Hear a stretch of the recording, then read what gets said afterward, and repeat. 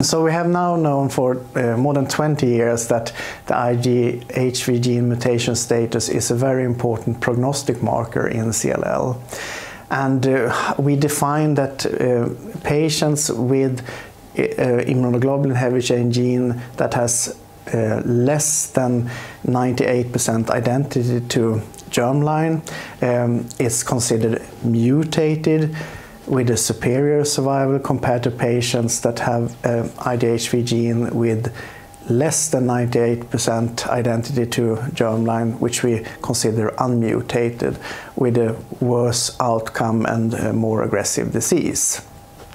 And this has repeatedly been shown to be one of the most, uh, one of the strongest prognostic markers in CLL that divides CLL into two subgroups with distinct clinical outcome.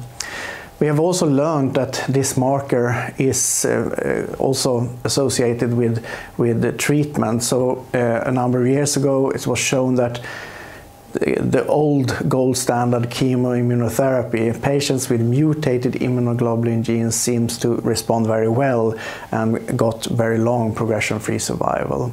But what has come into uh, really um, uh, attention the last years is that patients with unmutated IGHV genes respond very well to targeted therapies.